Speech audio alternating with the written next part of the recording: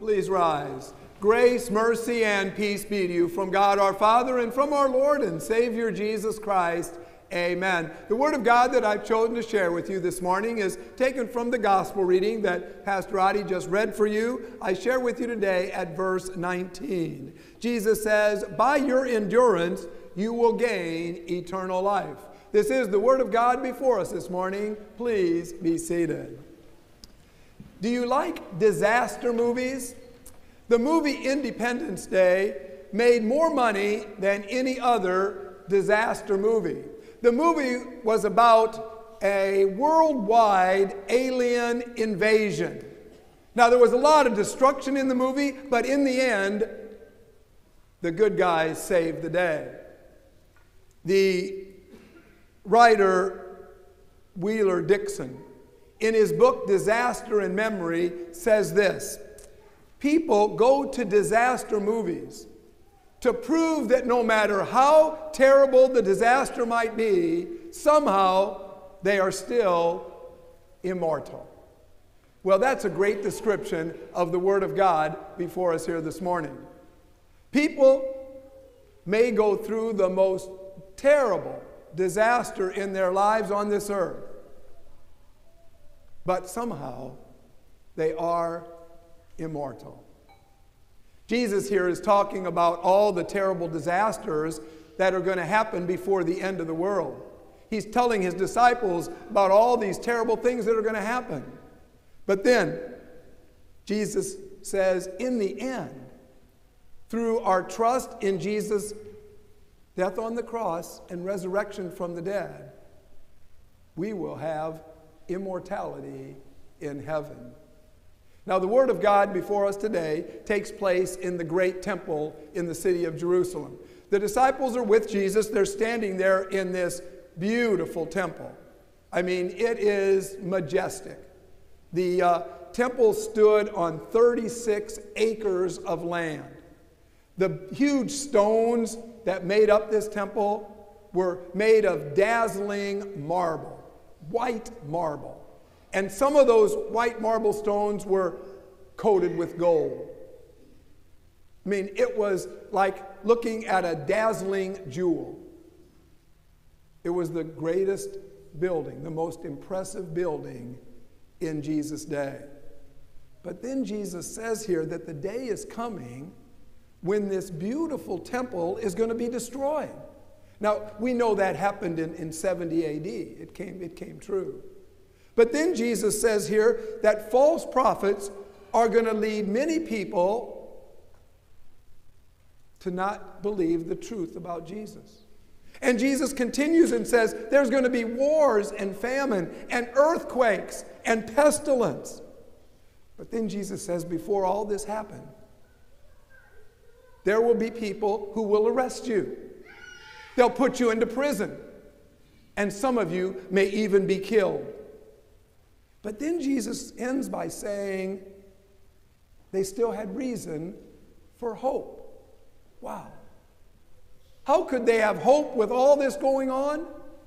Well, that's what Jesus teaches us here in His Word today. First of all, Jesus teaches us that with hope, all things are possible. If we think about a future that has no hope, well, then we get fearful. We get angry, we get anxious, don't we? But if there is no love and no peace and no joy, it is hopeless, isn't it? But Jesus says here, we can have hope for the future. Jeffrey Immelt became the CEO of General Electric on September the 10th, 2001.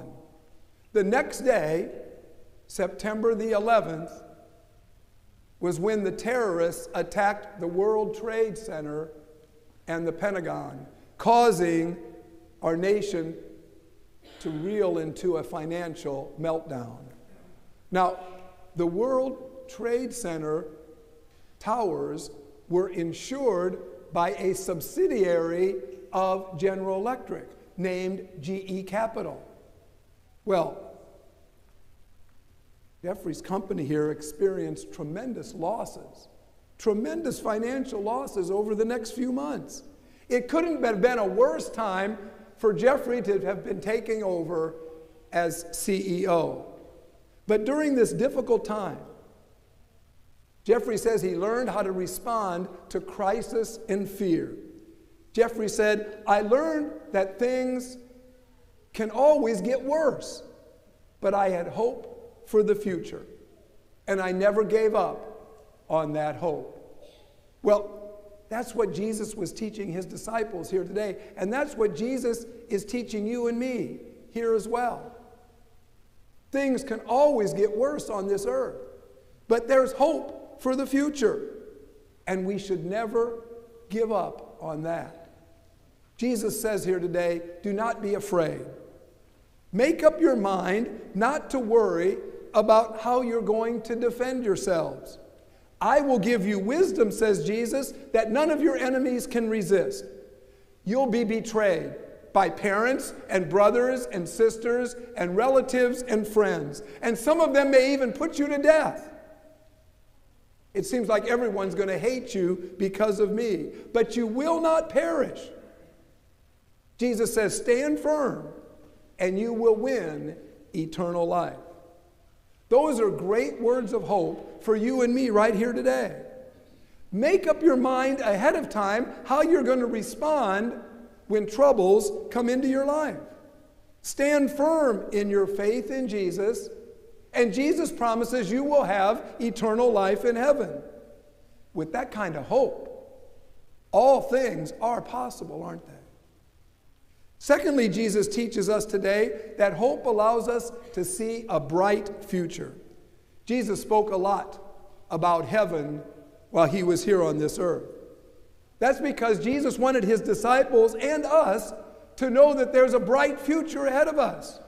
Through our trust in Jesus, we have a bright future with Jesus forever in heaven. A mother had a five year old son named Clark who was just starting kindergarten. Now, Clark was really nervous. He was really anxious about going to his first day of school. And his mother tried to encourage him. She said, Think about encouraging things when you get nervous. Say to yourself, I am brave. Say to yourself, I am loved. And you'll be able to get through the day just fine. Well, Later, one day on the way, his mother was taking him to school. She was driving him there in her car. Mother told Clark that she was really nervous about a, a big meeting she had at work that day. And Clark said, Mommy, don't be afraid. Be brave. Tell yourself that you're loved, and you'll do just fine at your meeting. What great words little Clark here gave to his mother. Jesus gives to you and me that same kind of advice today. When we get worried and nervous about the future, Jesus says, Be brave. Remember that you're loved by Jesus. You have a bright future ahead of you with Jesus forever in heaven. Thirdly, today, Jesus teaches us that hope allows us to view our troubles as opportunities to be a witness for Jesus. A faith that is trusted is a faith that's also tested.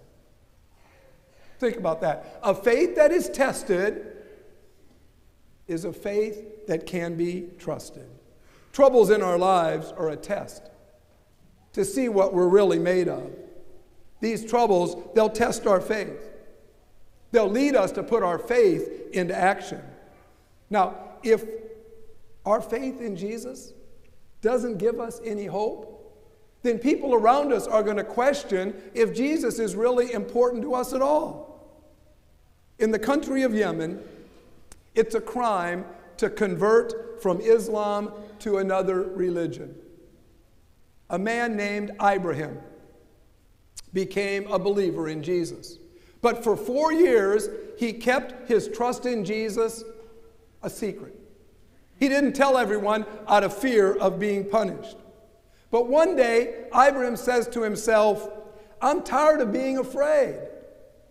If I believe in Jesus, I should not be afraid. So I'm going to tell people about Jesus, even if they hurt me. Ibrahim did tell people about Jesus. Now, his family abandoned him, his wife divorced him, but still today, Ibrahim tells people about Jesus and about heaven. He looks at his troubles as opportunities to be a witness for Jesus. Pastor was talking with one of the members of his church who was dying. The man said, Pastor, for 87 years, I have always celebrated the many promises of God to me. But this morning when I woke up, I forgot those promises. Pastor said to him, Even though you may have forgotten some of the many promises of God, do you think God has ever forgotten them? No, never. God is always going to be faithful to you. In our times of fear and worry on this earth, it's easy for us to forget those great promises of God, too, isn't it? When our faith is tested, though, when we see bad things happening all around us in this world, when we see the violence and the hatred in our world today, when we see many people around us being hurt, it's easy to respond with fear and worry about the future. But God never forgets us. Always remember that. God never forgets us. So don't wait for troubles to come before you know how you're going to respond to them. Make up your mind. Make your mind up today that you're going to trust Jesus with your future. Because with hope in Jesus, all things are possible. Hope in Jesus will allow you to see a great future. Hope in Jesus will allow you to see the troubles that come your way as opportunities for you to be a witness for Jesus. And as Jesus said to his disciples here years ago, you will win eternal life in heaven. God bless all of us with hope in the many times of trouble that we continue to go through while we're here on this earth. Amen. Let's now stand as we join together in the next hymn of praise.